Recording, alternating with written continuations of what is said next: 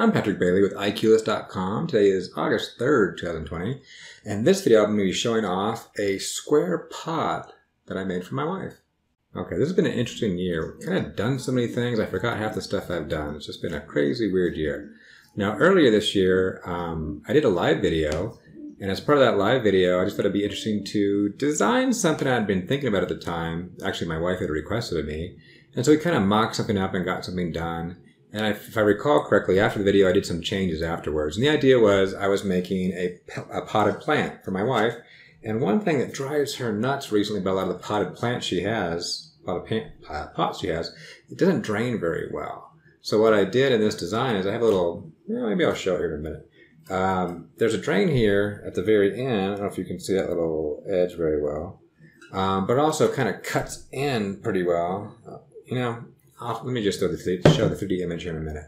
But we got it all working. I printed one out for her, and she liked it. And then recently, she just started asking for more. So we've grown a few plants in them, and so now I'm just printing a bunch out for her, and she seems to like them really well. So um, I decided to post it on post it on Prusa Printers. So I posted on Prusa Printers, and I'll put a link in the show notes. It happens to be three seven seven three four, just a square pot. Um, and you can resize it a bit. I have it like about a half size. It works pretty well. The size it is, it works pretty well.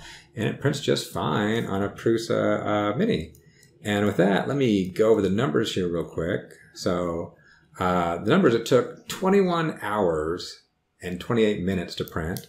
It took 0.126 cents of electricity. And it weighs 0.626 kilograms. So it's a little beefy. Uh, that comes up to $5.24 worth five dollars and twenty four cents worth of material, and overall it cost five dollars and thirty seven cents to print. But not too bad considering how much pots cost. And so far, my wife's a big fan of it. So uh, with that, let me go. You know, let me go do a. a let me go show um, the 3D of it, 3D print. Let me go show the slicer version of it real quick, so you can kind of see where that drainage is, and then uh, let me go show uh, do a little video real quick showing it up close. Okay, so here we are looking at the slicer, and what I did is a couple ideas. One, I wanted to drain really well, so I kind of angled the whole bottom. So here as you go down, you can see it kind of angles to here, and I cut it a little tray, if you will, a little, little gap here so I can kind of shoot out. So right now, you can see there's where the hole is, but everything drains down to that side and out. And so far, I think my wife's been liking that. It's been draining pretty well, and she'll probably give her opinion on it here in a minute. But that's the 3D design.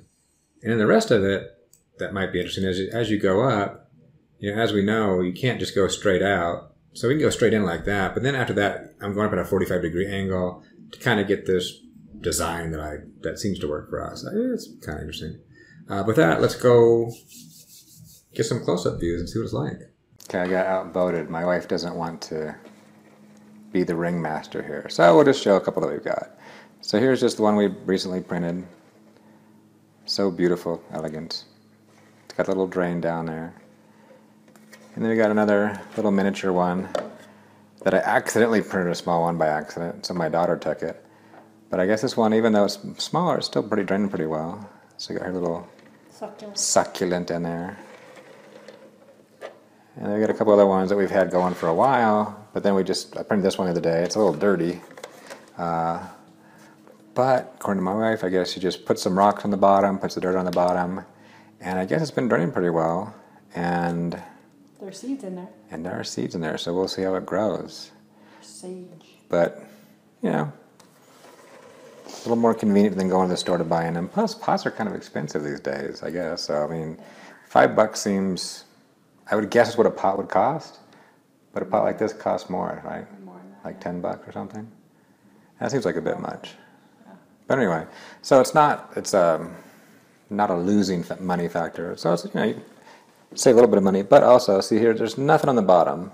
We have no drains on the bottom. So it's kind of nice. Um, you can fill it up, drain it on the side because she's she's had a problem with our other pots. We have some other pots that have no drains. We're just like drilling holes in the bottom, and all that stuff's dying. But so far we've had these other ones. I don't know, a couple months, and even so, they haven't you haven't, have you had to clear them out at all? They've just been draining just fine. Okay, they've been draining just fine. And then you have one spot to concentrate on, and so you don't have it dripping everywhere. You can put it wherever you want. You know it's going to come out that one spot, and you're good to go. Water builds up here. Water builds up here? Yeah. But from fine. From- okay, so she said the water builds up here. Yeah, but like when from- I- Oh, when you when it kind of go cascades over. Oh, that's interesting. Okay, well, she says water builds up here, and then she can just dump it and it comes off. Not a big Yeah. deal, I guess. Or I guess it'd probably dry off pretty quick too on the outside. Um, but hey, maybe it's another reason to angle it on that side too. I don't know. But eh, easy to wipe it down, Yeah, or just like don't overpour it. The- They have a good design. They look very modern. They look modern. You line them up. Oh, yeah, that's another thing. Nice. It's nice about being square is you can just you can line them all up and squish them together if you want to do something. So Put the white one in there too. modern. Sort of all Oh, there we go. Put them all. Yep, Can line them up real quick. So make yourself look fancy. different colors.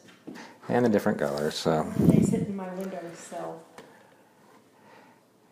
Yep. And right now she's saying they sit in her windowsill, but also we we take them inside and outside a lot because of different places in our house. So it's nice they're so small you can easily take them outside. So she's been doing that a lot to make sure they grow. So that is the potted plants. Yay.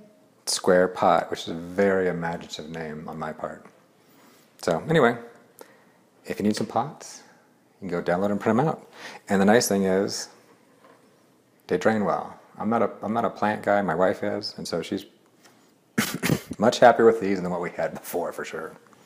Okay, the next video coming up is probably going to be on a neat backyard thing I designed in OpenSCAD. Kind of a spacer for my pipes that you can spike down to the ground. Now the neat thing is you can adjust it by just by just changing a few parameters. So uh, I'll expect that video here in the next week or so.